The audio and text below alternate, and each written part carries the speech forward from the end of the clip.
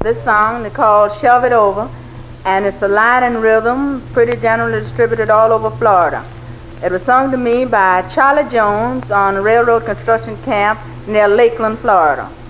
When I get in Illinois, I'm going to spread the news about the Florida boys. Shove it over. Hey, hey, hey, you can't you line it? Oh, shack a lack a lack a lack a lack a lack Can't you move it? Hey, hey, oh, can't you try? Eat him up whiskers, he won't shave. Eat him up body lice, he won't bathe. Shove it over.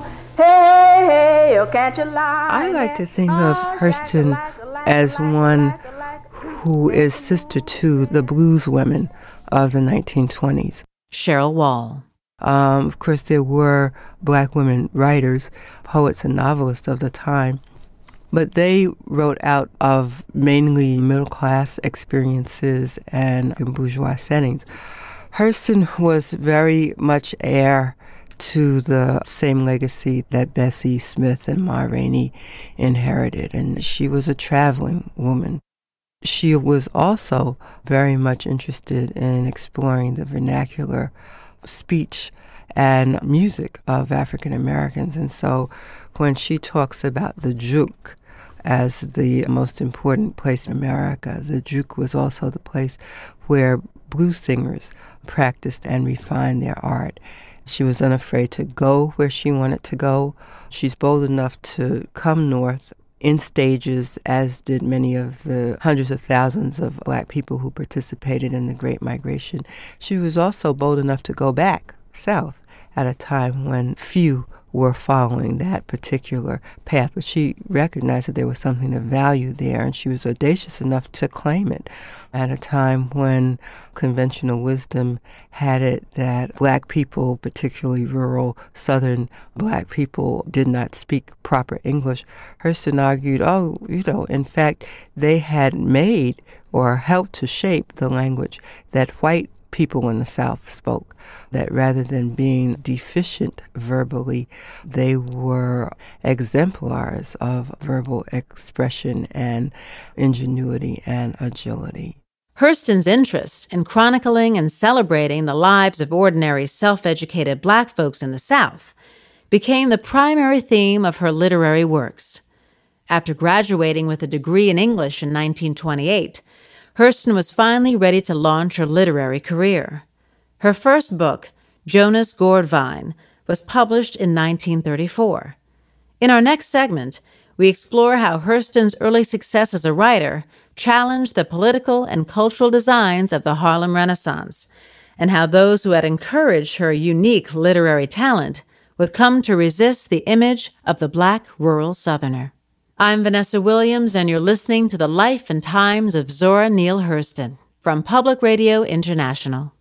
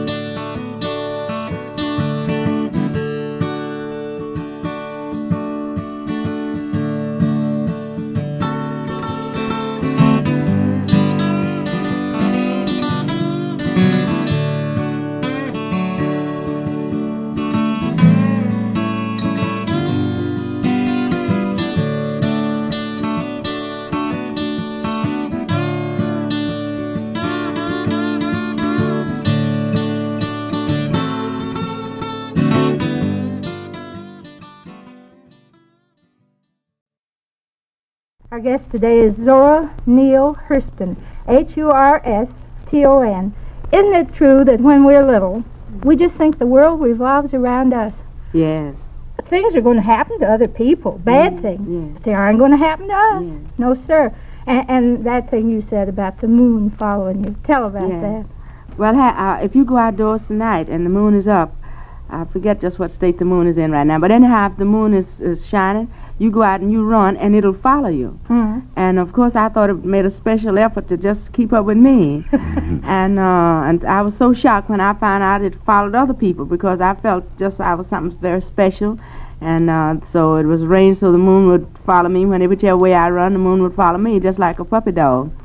And uh, it's sort of disillusioning when I found out other people making the same claim on the moon as me. And I did. I still didn't quite believe it. I still didn't see I could go with them and go with me too when I'm going another direction. Hmm. it was your cousin disillusioned you, wasn't it? Yes, claiming, making claims on the moon and everything. You know, when I felt I had it all sewed up, you know, and everything to go my way. That was an interview segment from the early 40s with Mary Margaret McBride on WEAF Radio.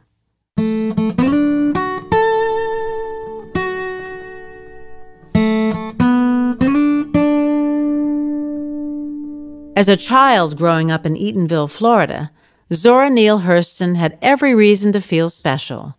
The all black historic town had afforded her a lifestyle and culture unlike any of those experienced by the other personalities associated with the Harlem Renaissance. Eatonville, as Hurston says in her autobiography, was not the black backside of a white town. For her, the town provided an atypical view of the racially charged and segregated South. Valerie Boyd. What was amazing about Eatonville, especially for Zora Neale Hurston growing up there at the early part of the 20th century, was that it was a place where she was really sheltered from racism and never indoctrinated in inferiority. So it was a wonderful place for her to grow up because she saw examples of black achievement all around her. The mayor was black, the town council members were black, the store owners were black. So she saw all these examples of achievement and all these examples of what she could do or be. So she grew up in Eatonville feeling her own limitless potential and feeling that she could do or be whatever she wanted to do or be. That was rare for a black child growing up in the early 1900s.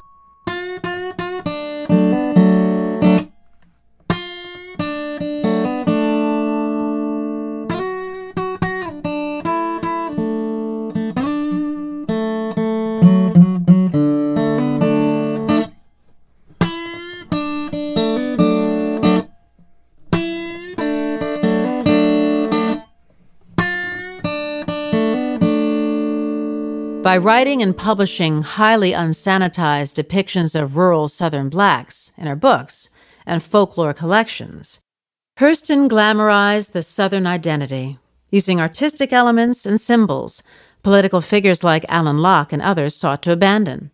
She was a product of the South, a woman disinterested in adhering to the political agenda of the time, and a writer and anthropologist dedicated to preserving and presenting the folk lives of the people who inspired her, the men and women she grew up listening to. While Hurston attained critical success, receiving rave reviews from the white reviewers, she received stinging criticisms from those within the black academic and literary community, and she became the symbol of the kind of cultural stagnation Harlem Renaissance elders resented. Hurston scholar Carla Kaplan asserts that it was Hurston's association with this counterculture that both attributed to the rapid decline in her status among her contemporaries and set off the campaign by political strong arms to relegate her to the perimeters of the movement. This was a risky move aesthetically, and it was a risky move politically because it ran afoul of the main aesthetic and political tenets of the Harlem Renaissance. Most of her contemporaries, which is to say also most of her dear friends in the Harlem Renaissance, were absolutely dedicated to the notion that the literary arts were the signal most important way that blacks could achieve civil rights, and that they would do so by showing white America that blacks were really no different.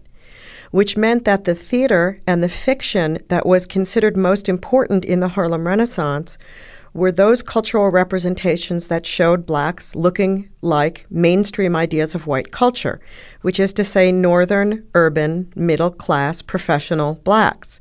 Hurston wanted to do something altogether different. She wanted to show white and indeed black culture, a group of black Americans they had probably never heard of. So she wanted to go down into the deep south, into the sub working class, and document the lives of what she called the Negro farthest down.